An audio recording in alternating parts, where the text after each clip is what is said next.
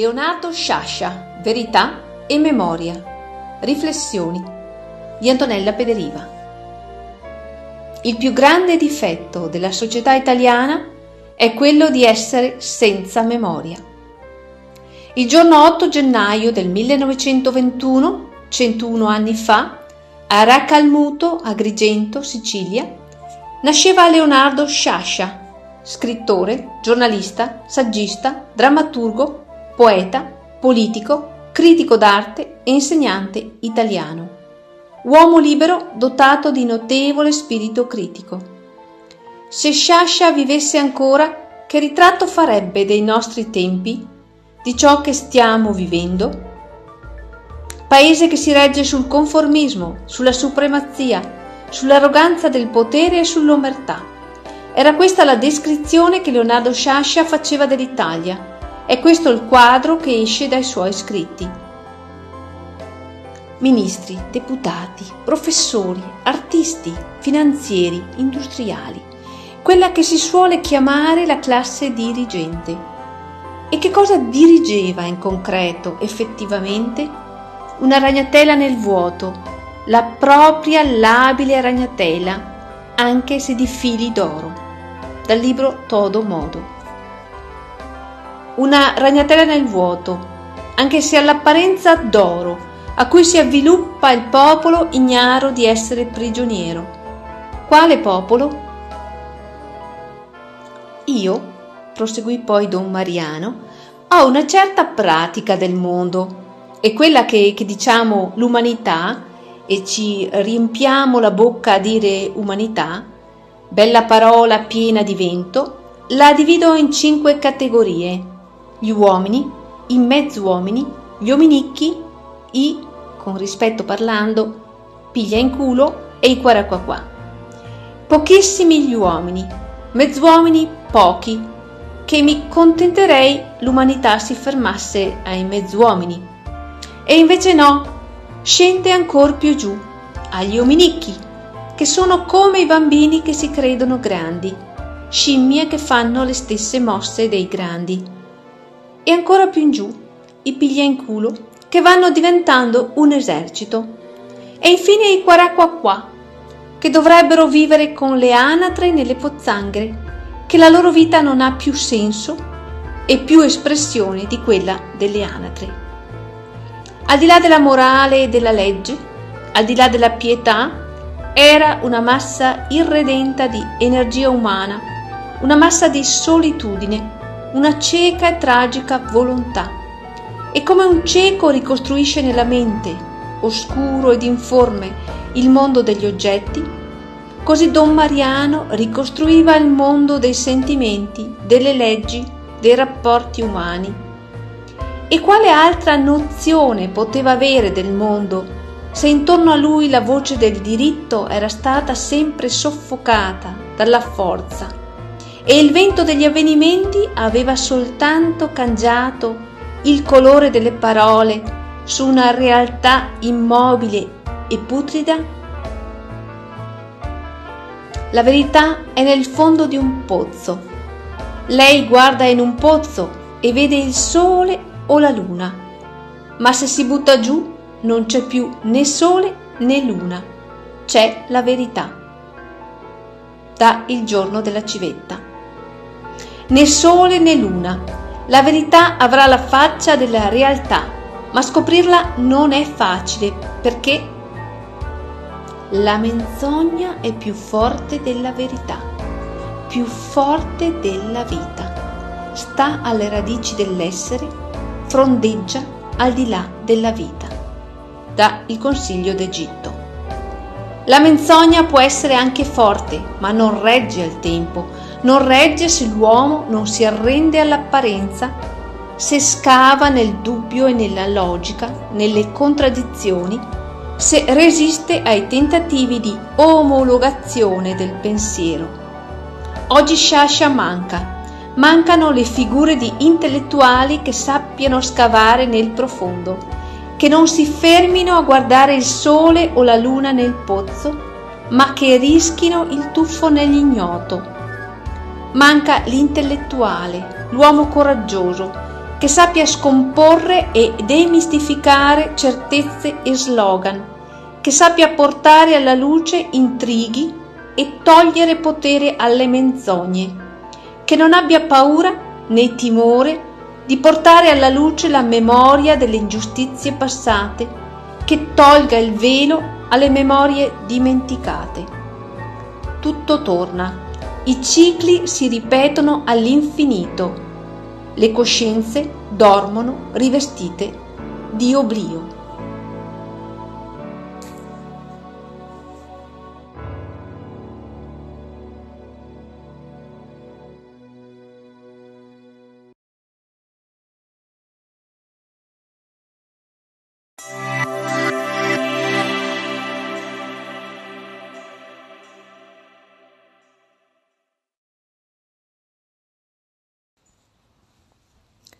Giuseppe Ungaretti, raffigurazione di ciò che è poesia, di Antonella Pederiva. Una poesia che verte sulla parola, che frantuma i discorsi, parole chiave efficaci, che supportano una lirica essenziale, pura, che nasce da un istinto innato, da un cogliersi interiore superbamente espresso. È questa la poesia di Giuseppe Ungaretti, il poeta che anticipa l'ermetismo, che è l'ermetismo. Conoscere la poesia di Ungaretti e innamorarmene fu un tutt'uno per l'adolescente che ero. I suoi versi furono rivelazione. Se amo la poesia e ho scelto di esprimermi attraverso di essa, io lo devo principalmente a questo uomo. In realtà la poesia faceva già parte della mia vita quando lo lessi per la prima volta. Fin da piccola, grazie anche ad una maestra accorta che non ringrazierò mai abbastanza, ero affascinata dai versi. Adoravo Leopardi, ero vicina ai suoi tormenti, ma Ungaretti fu la svolta. Esprimere un sentimento, un'emozione, un concetto attraverso l'uso delle metafore, stravolgendoli per renderli ancora più incisivi, più efficaci, più penetranti, costruire su simboli, su frammenti di pensieri e di vissuto, su intuizioni. Meraviglia. Tutto passa in secondo piano di fronte alla testimonianza della sua opera. Passa in secondo piano la sua vita, la sua biografia, le sue scelte politiche. Tutto di Ungaretti si evince da ciò che scrisse, autentici capolavori destinati all'immortalità. E allora, per ricordarne la nascita, l'8 febbraio 1888, lascio parlare solo la poesia. Da Il taccuino del vecchio, 1960. Stralci da Ultimi cori per la terra promessa. Agglutinati all'oggi, i giorni del passato e gli altri che verranno.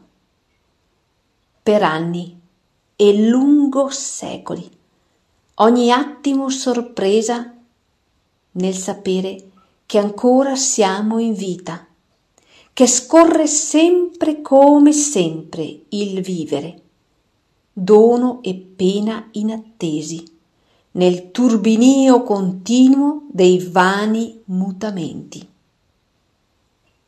tale per nostra sorte il viaggio che proseguo in un battibaleno, esumando, inventando da capo a fondo il tempo, profugo come gli altri, che furono, che sono, che saranno.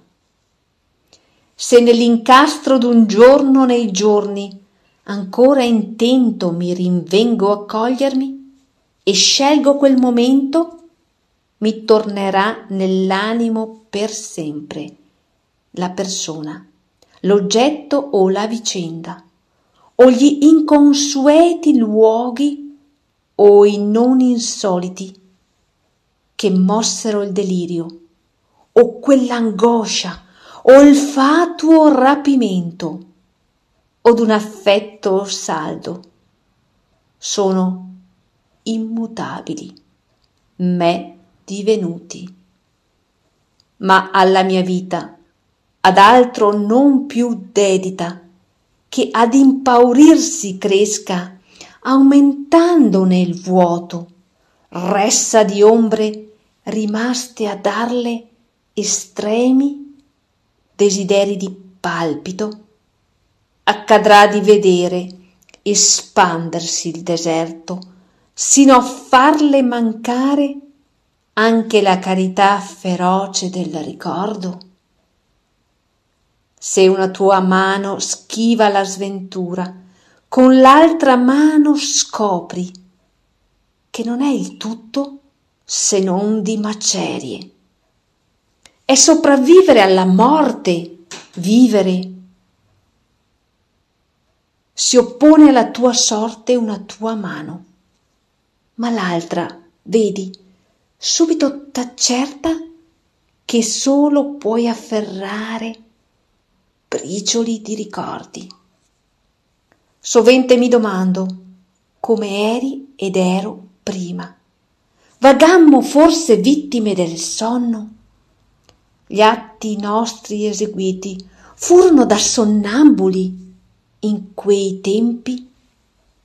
Siamo lontani, in quell'alone d'echi, e mentre in me riemergi nel brusio, mi ascolto, che da un sonno ti sollevi, che ci previde a lungo. Ogni anno, mentre scopro che febbraio è sensitivo e per pudore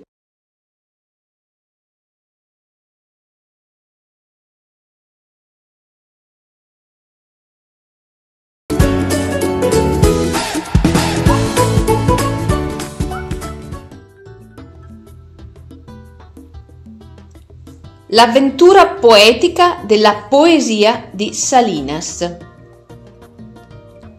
La poesia è un'avventura verso l'assoluto. Si può arrivare più o meno vicino, si può fare più o meno strada. Ecco tutto. Bisogna lasciar correre l'avventura con tutta la bellezza del rischio, della probabilità del gioco. È questa la concezione della poesia di Pedro Salinas y Serrano, poeta, celebre critico letterario, saggista, professore universitario, traduttore, narratore, drammaturgo e membro più anziano e più versatile della celebre generazione del 1927 il gruppo di poeti che fiorirono in Spagna dal 1920 al 1936. Nato a Madrid il 27 novembre 1891 e deceduto a Boston il 4 dicembre 1951, Salinas ci dona versi di grande sensibilità, autentici, belli nel suo desiderio di rinnovare la poesia in lingua spagnola, Salinas fonde le tendenze letterarie europee con il patrimonio letterario della Spagna. Il risultato è una poesia sopraffina, delicata, pura, reale, sensuale, romantica. I suoi versi ricamano il concetto dell'amore attraverso tutti tutti gli stati d'animo che lo compongono. Arrivano al cuore proprio perché reali, immediati. Sublimano i concetti con un linguaggio incisivo, penetrante, efficace, musicale. Musica e poesia non dovrebbero essere mai scissi, fanno parte di un patrimonio emozionale prezioso che appaga anima e pensiero. Non ho bisogno di tempo. Non ho bisogno di tempo per sapere come sei. Conoscersi è luce improvvisa. Chi ti potrà conoscere là dove taci o nelle parole con cui tu taci? Chi ti cerchi nella vita che stai vivendo non sa di te che allusioni, pretesti in cui ti nascondi e seguirti all'indietro in ciò che hai fatto prima, sommare azione a sorriso, anni a nomi sarà come perderti. Io no. Ti ho conosciuto nella tempesta. Ti ho conosciuto improvvisa, in quello squarcio brutale di tenebra e luce, dove si rivela il fondo che sfugge al giorno e alla notte. Ti ho visto, mi hai visto, ed ora, nuda ormai dell'equivoco, della storia, del passato, tu, amazzone sulla folgore, palpitante di recente ed inatteso arrivo, sei così anticamente mia. Da tanto tempo ti conosco che nel tuo amore chiudo gli occhi e procedo senza errare, alla cieca, senza chiedere nulla a quella luce lenta e sicura con cui si riconoscono lettere e forme e si fanno conti e si crede di vedere chi tu sia, o mia invisibile. Tu vivi sempre nei tuoi atti. Con la punta delle tue dita sfiori il mondo. Gli strappi aurore, trionfi, colori allegrie. È la tua musica. La vita è ciò che tu suoni. Dai tuoi occhi, solo da loro, emana la luce che guida i tuoi passi. Cammini fra ciò che vedi, nient'altro. E se un dubbio ti fa cenno, a diecimila chilometri, abbandoni tutto. Ti lanci su prore, su ali, sei subito lì, con i baci, coi denti lo laceri. Non è più dubbio, tu mai puoi dubitare, perché tu hai capovolto i misteri e i tuoi enigmi che mai capirai sono le cose più chiare. La sabbia dove ti stendi, il battito del tuo orologio, e il tenero corpo rosato che incontri nel tuo specchio ogni giorno al risveglio ed è il tuo. I prodigi che già sono decifrati. E ti sei sbagliata mai, solo una volta, una notte che ti invaghisti di un'ombra, l'unica che ti è piaciuta. Un'ombra pareva e desiderasti abbracciarla. Ed ero io.